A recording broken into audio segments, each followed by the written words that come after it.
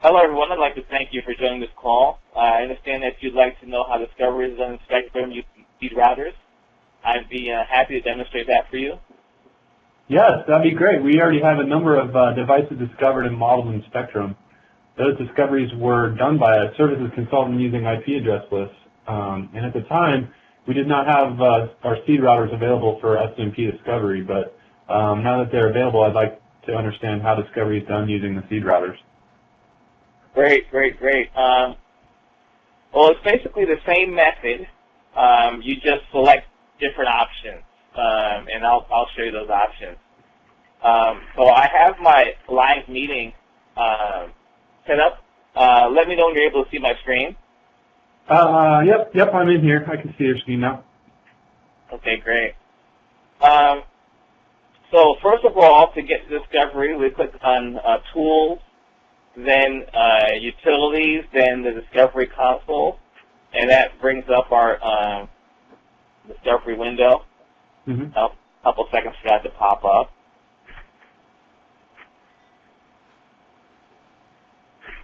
Um, and so what we're looking at now is the main window for our Discovery console. The navigation pane is basically divided into two default folders. Um, you see on the left there, global configurations and the my configurations. Mm-hmm. I'm going to configuration under the my configurations, uh, and I'm going to call it uh, home two. So I do that by uh, selecting the create a new configuration icon, Mm-hmm. which I just selected, and yeah, that icon right there. That's now I'm going to create something. I'm going to call it home home two. I'm basically demonstrating this on my little home net here. Okay. And uh, next, I'm going to add the seed router. Uh, and let's see, let me get the IP address for that guy. 192.168.250 dot 201. Okay. So I'm going to add that. And now under modeling options, I'm going to select uh, Discover and automatically model in Spectrum. Um, so with this option selected, as soon as Discovery finishes finding a device that will model it by default to the universe topology, or wherever you know we designate this should go in our configuration. Um, and these are just those are just some of what the modeling options look like. Okay. Um, yeah, I'm just watching you and taking notes, so uh, go ahead and continue on. Okay, great. So I, I clicked Discover now. Discovery has uh, started. Uh, I clicked on that Discover in the lower right-hand corner. I don't know if you saw it. I did it kind of quick. Sorry about that. Um, but now the Discovery pane shows the status of the configuration while it's taking place. Um, and another thing about Discovery configuration is that uh, a configuration uh, determines the focus and scope of the Discovery or modeling session. So Oh. we Hey, Calvin, I have a question. Can you use uh, configurations to schedule your discoveries?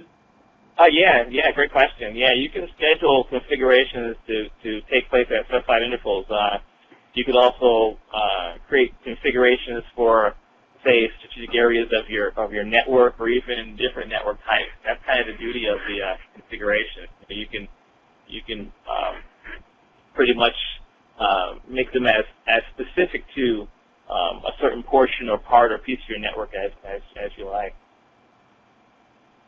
So now, if you notice, as, as things are being discovered, um, as Discovery finds devices, it's kind of adding them in there. If you look in that kind of uh, top window on the on the right-hand side, it's kind of adding things in there.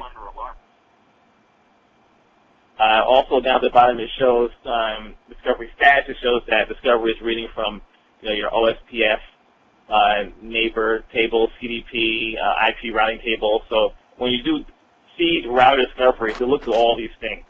So it's basically reading through your routing information uh, that's configured in your router, your seed router, and it's looking for it's, it's looking for devices going across your going across your network and your routing protocols. Okay, I noticed in the discovery status that IP address ranges are being interrogated. Where is it um, getting those networks from? Oh, uh, Discovery is getting that information from the seed router configuration. Uh, those networks are, are basically dynamic routes configured in the seed router. Um, and so um, if you have dynamic routes, you know, built using whatever routing protocol, um, you know, OSPF, uh, RIP stuff, I mean, it'll, it'll, it'll go in and uh, use those routing protocols to discover those parts of the network.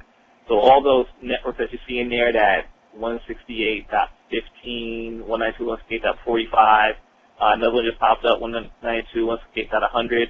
Those are all um, uh, routes going out of various interfaces out of these routers um, through through RIP. I think I have RIP configured on this particular router. Okay, so now we've gotten to the uh, modeling step discovery. So now discovery is taking the devices it's discovered and it's adding them to the modeling database. Uh, it's building the device type, model class, and and basically, you know, all the things associated with the models. And at the same time, it's also placing the models um, where they belong in the topology. And it's the last step. If you recall, in our configuration, uh, we told it to go to the universe. So it goes to the universe, it'll figure out, you know, what's connected to what, and it'll actually even put in the, the uh, connections that go from device to device when it's building out the topology. Okay, so it looks like, yeah, so, yes, this is basically the last step in the discovery process. Uh, um, it looks like it's pretty much done. Uh, the history tab shows the detailed results of discovery, and uh, that's basically it. You know, what are your questions at this point? Um, you know, I don't really have any. Uh, I, I think I want to get in there and kind of play with this, and then I'll, uh, you know, I might have something later. But um, other than that, I'm I'm I'm pretty good. I guess uh, I'll talk to you soon. Okay, great.